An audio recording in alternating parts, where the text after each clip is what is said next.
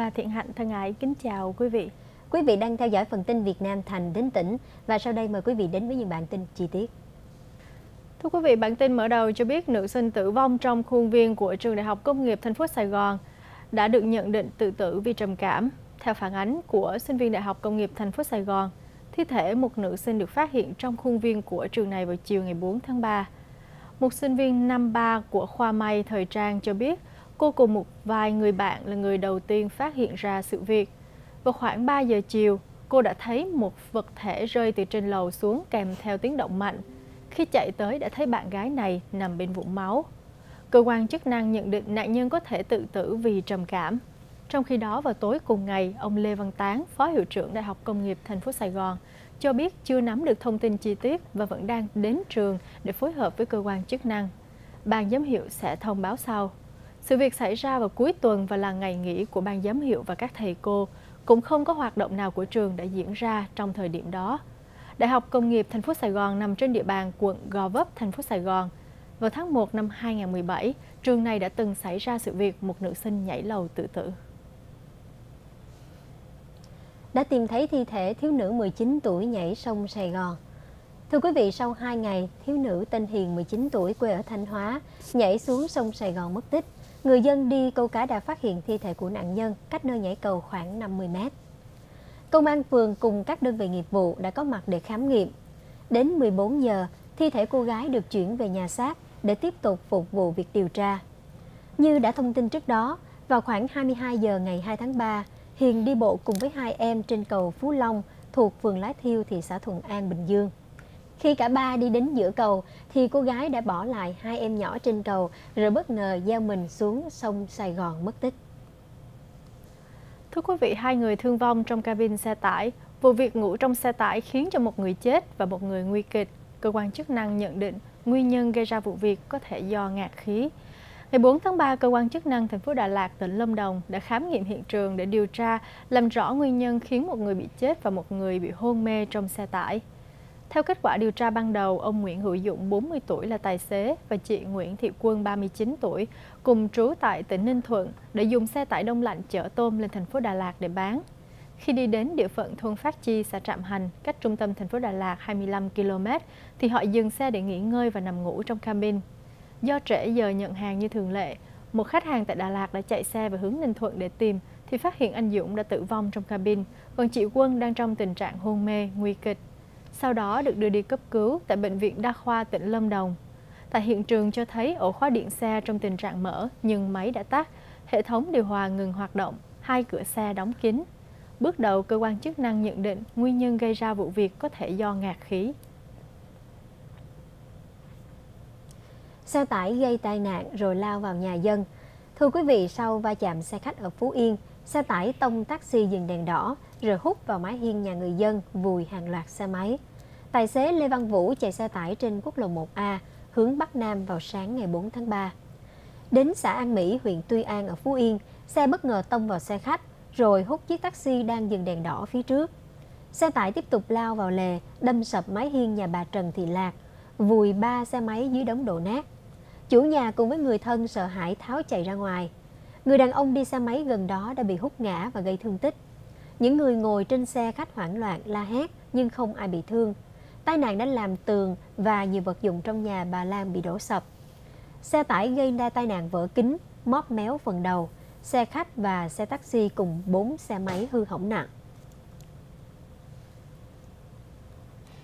Bốn nhân viên bị tước chứng chỉ vì để thanh niên đột nhập lên máy bay. Thưa quý vị, bốn nhân viên bị tước chứng chỉ và phạt tiền vì đã để một thanh niên đột nhập lên máy bay ở sân bay Vinh, Nghệ An tối ngày 4 tháng 3, một lãnh đạo Cục Hàng không Nhà nước Cộng sản Việt Nam cho biết, Cảng vụ Hàng không miền Bắc đã ra quyết định xử phạt đối với 5 nhân viên hàng không liên quan đến việc để nam thanh niên đột nhập lên máy bay. Đây là sự việc có mức độ nghiêm trọng nên Cục đã yêu cầu thành lập tổ điều tra. Bốn nhân viên hàng không đã bị tước chứng chỉ 2 tháng và phạt 10 triệu đồng một người.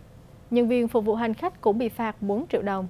Sự việc hy hữu xảy ra vào khoảng 1 giờ 45 vào ngày 3 tháng 3 tại sân bay Vinh, Nghệ An.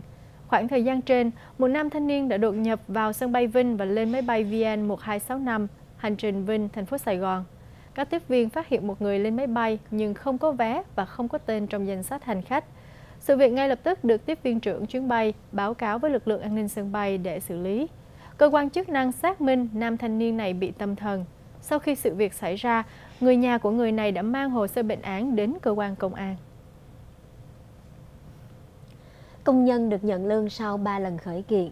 Thưa quý vị, sau 3 lần khởi kiện, hàng trăm công nhân ở công ty Sang Hô đã hòa giải thành công với công ty và nhận được số tiền gần 4,9 tỷ đồng. Vào ngày 4 tháng 3, công đoàn của các khu công nghiệp thuộc Liên đoàn Lao động tỉnh Bình Phước được ủy quyền đã thực hiện chi trả tiền lương cho hơn 100 công nhân từng làm việc cho công ty Sang Hu 100% vốn Hàn Quốc đóng tại khu công nghiệp Đồng Xoài 1, thị xã Đồng Xoài, sau hơn 3 tháng khởi kiện chủ công ty này ra tòa.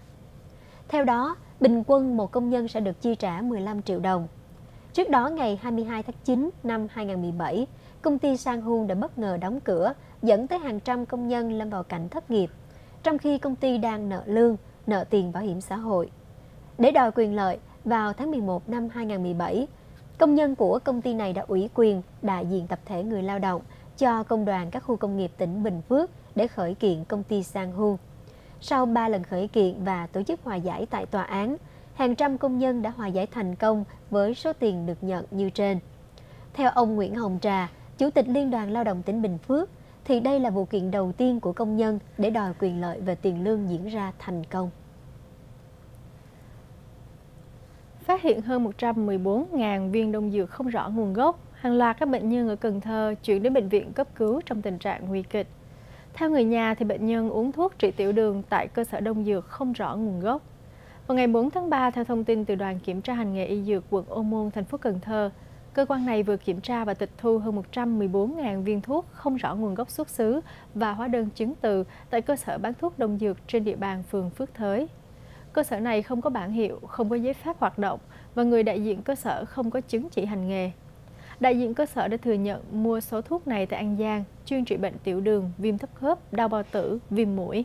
Những viên thuốc này có màu xanh, đỏ hoặc xám, có chứa thành phần phenformin, được dùng trong điều trị đái tháo đường tại Hoa Kỳ từ những năm 1950.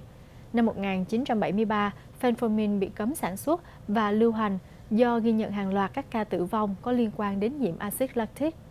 Tại Việt Nam, phenformin đã bị cấm lưu hành, nhưng một số cơ sở sản xuất thuốc đông y vẫn dùng để trộn vào các viên thuốc đông dược không gắn nhãn mát thành phần nơi sản xuất. Những viên thuốc này được quảng bá chữa khỏi bệnh đái tháo đường cũng như nhiều loại bệnh khác. Thưa quý vị, doanh nghiệp Nhật Bản quan tâm tới các dự án phát triển đô thị thành phố Sài Gòn. Các dự án chỉnh trang và phát triển đô thị như di dời nhà vùng ven và trên kênh rạch xây dựng lại các chung cư cũ hư hỏng nặng trên thành phố Sài Gòn đã thu hút sự quan tâm của các doanh nghiệp Nhật Bản. Điều này được ghi nhận tại hội thảo chỉnh trang và phát triển đô thị thành phố Sài Gòn do Hiệp hội Bất động sản thành phố Sài Gòn và Hiệp hội các doanh nghiệp Nhật Bản phát triển đô thị sinh thái đồng tổ chức. Mới đây tại hội nghị đã mời gọi đầu tư thực hiện các dự án cải tạo, di dời nhà vùng ven và trên kênh rạch chỉnh trang đô thị Sài Gòn. Hiện tại, tổ chức có 57 thành viên đều có nhiều kinh nghiệm trong quản lý tài chính, quy hoạch, phát triển và xây dựng cơ sở hạ tầng đô thị.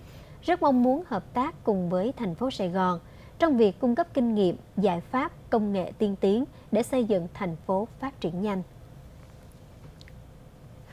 Tiếp theo là bản tin cho biết trộm điện thoại và còn đòi mật khẩu. Vào ngày 28 tháng 2, Công an thành phố Quy Nhơn đã khởi tố và bắt giam Dương Quang Hiếu sinh năm 91 ở phường Trần Quang Diệu, thành phố Quy Nhơn về hành vi trộm cắp tài sản. Dương Quang Hiếu là đối tượng đã có hai tiền án về tội trộm cắp tài sản, vừa ra tù cuối năm 2017, nay lại tiếp tục tái phạm.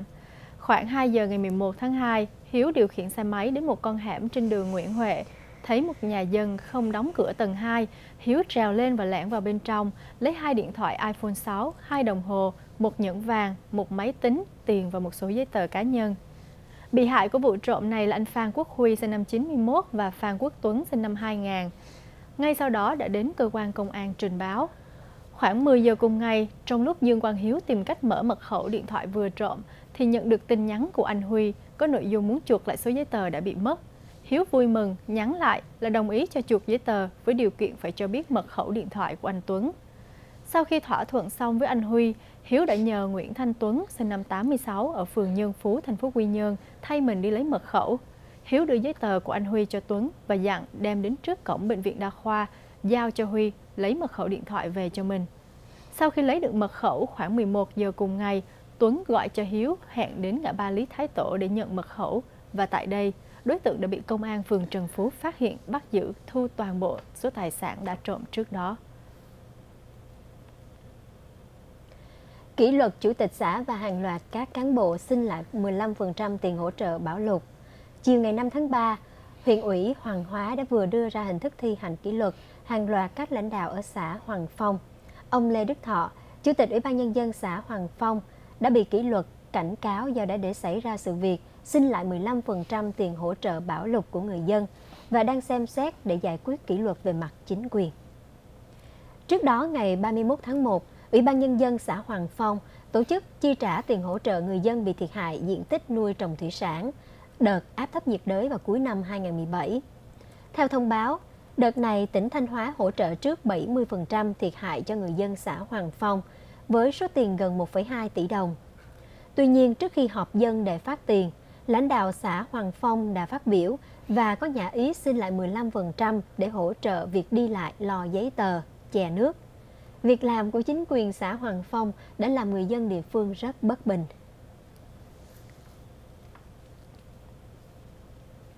Thưa quý vị, bản tin vừa rồi đã kết thúc cho phần tin Việt Nam Thành đến tỉnh cùng với Thi Nhung và Thiện Hạnh. Chúng tôi kính chúc quý vị cùng gia đình thật nhiều sức khỏe và bình an. Hẹn gặp lại quý vị trong những chương trình tiếp theo. Xin kính chào. Xin thân ái kính chào.